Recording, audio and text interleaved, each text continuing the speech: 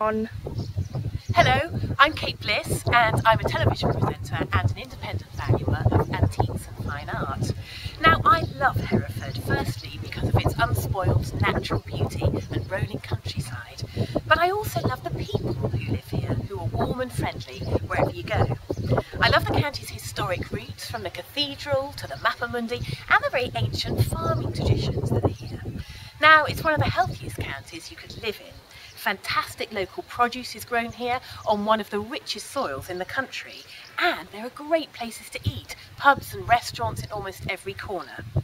Now if it's entertainment you want, the county hosts a variety of festivals throughout the year, some of them world renowned, in the arts and food and drink.